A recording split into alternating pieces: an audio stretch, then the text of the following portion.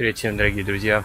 Сегодня вообще просто плохая погода. Кстати, простите, заранее хотел попросить прощения за плохое качество, потому что я снимаю на экшн камеру, не на основную камеру свою. В общем, решил я сегодня сделать спонтанно какие-нибудь атмосферные фоточки. И пришел в то мое любимое место, где обычно никого нет, и здесь постоянно было много деревьев и прочего. И посмотрите, что здесь стало. Все полностью вырубили. То есть здесь нет никакой листвы практически. Но единственное радует, что осталось вот это поле, которое вот там видно, да, вдалеке. В принципе, там я и буду фотографироваться. И смотрите, везде грязь. То есть, куда я не наступлю, везде грязь. Абсолютная. То есть, я не знаю, зачем это все вырубалось. Здесь было так атмосферно и классно. Это уже, наверное, третье или четвертое место, где конкретно, ну, мое любимое место, где конкретно я делал сюда фотографии и прочее. И в этот раз, видите, получается так, что и этого места меня лишили, так скажем. В дальнейшем я даже не знаю, куда буду ходить, чтобы получить какие-то снимки. Спонтанно, знаете, как бывает. Проснулся просто и пошел. То есть я ничего там не планировал вчера вечером или еще что-нибудь типа того. Просто в голове что-то перемкнуло у меня, и я решил побежать и сделать фотки. Поэтому творчество, я считаю, так и должно происходить. То есть, ну, конечно, нужно иногда планировать, а иногда можно просто пойти и сделать то, что ты хочешь сделать, несмотря ни на что. Еще один момент хотел сказать, то, что я абсолютно один, как всегда, потому что у меня нет никаких сподвижников там, собратьев по разуму, хотя я тысячу раз уже в своих видео это говорил. Э, я все время все делаю один. Я не люблю просто никого упрашивать, никого просить, никому подкидывать какую-нибудь идею, которая может показаться сумасшедшей для кого-то. Я все делаю сам, потому что ну, мне так спокойнее, мне так комфортнее. Кто пойдет в такую жопу с утра в субботу? Все спят, а я здесь. Поэтому, поэтому мы разные, понимаете. Есть еще одно место на примете, где там тоже такое поле. У меня просто была идея, чтобы именно поле было открытое. Я взял с собой книгу и посмотрим, что получится из этого. Просто, ну вот как-то захотелось мне вот именно так сделать. Я вот именно так я видел это все.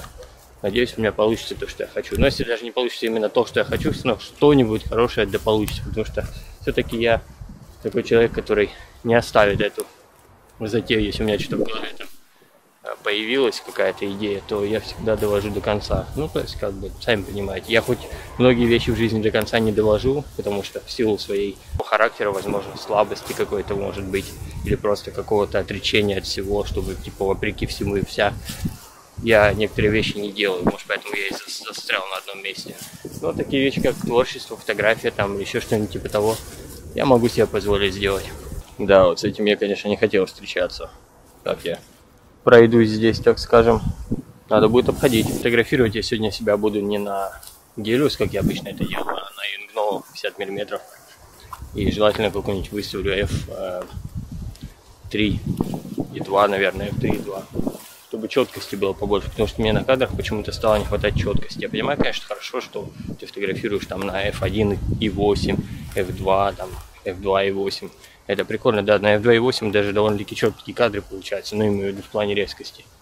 Но вообще так, теоретически чисто хотелось бы, конечно, порезче. Тем более, что вот это боке, оно по-любому всегда все равно будет, потому что у меня кроп и 50 миллиметров, это как 85 миллиметров, поэтому я там особо сильно ничего не потеряю. Тем более, что здесь будет открытое поле и расстояние до каких-то ближайших объектов сзади будет довольно-таки большое, поэтому разницы никакой не будет. Ну, понимаете, о чем я, да? Вот куда я забрался, здесь полные кущери. В общем, вот, вот где я нахожусь. Тотальное отдаление от цивилизации. Большая труба. Видите? Раньше это было тоже мое, одно из моих любимых мест возле той трубы. Там много локаций для того, чтобы пофотаться. Но теперь там заняли все э, некие военные или типа того. Короче, это огороженная территория теперь. Ну, вот то местечко, вот, которое, видите, чуть дальше находится, оно меня прям привлекает. Ладно, фиг с ним, я уже все равно грязный весь. Какая разница? Одежду всегда можно постирать. И вообще в жизни любую грязь можно смыть. Так что я не парюсь вообще. А это мое место для, для съемки. А, я не встану здесь. Смотрите почему. Я чуть-чуть не дошел. Смотрите, там болото. Вот, в общем, установил я камеру уже. Вот так это все выглядит у меня. Сейчас я пойду туда встану и буду фотографировать. Ну и, соответственно, покажу вам тоже, как я буду фотографировать, то есть от первого лица, так скажем. Надеюсь, пульта у меня вот этого Bluetooth, который, типа, делает спуск. Надеюсь, у меня хватит расстояния до него. Поэтому смотрим.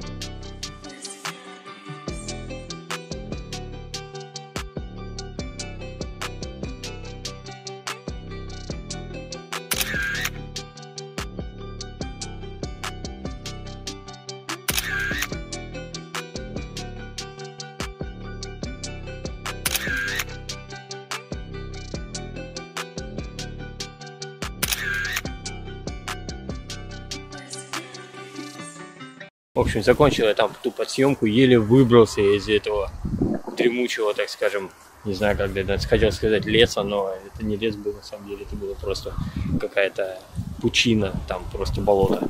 Еле выбрался. Ну, не знаю, получились ли там какие-нибудь кадры, не получились. По-любому, что-нибудь в фотошопе я соображу. Ветер, кстати, не очень сильный был, так что, может быть, и норм будет. Не знаю, книжка это была в тему, не в тему, но с книгой я окажусь умнее, это сто процентов. Хотя и так, в принципе, начитано, сколько можно уже эти книжки читать туда-сюда. Но смотрите, главное, что я шел когда назад, я уже думал, что, типа, ну, все, наверное, конец, хватит фотографировать. И смотрите, что я нашел еще. Это же просто изюминка. Как можно пропустить такое? Как эта ягода называется? Господи, я не знаю. Вот вы напишите мне в комментариях несведущему человеку, как называется эта ягода. Сейчас что-нибудь придумаю здесь еще. Это будет довольно-таки прикольно.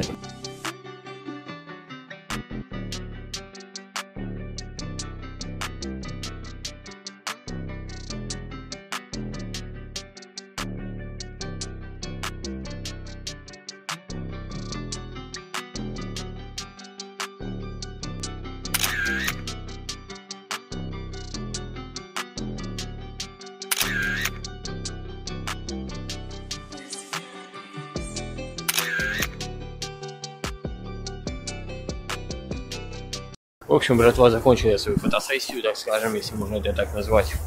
Сильно замерз, сильный ветер. Блин, сильный ветер реально.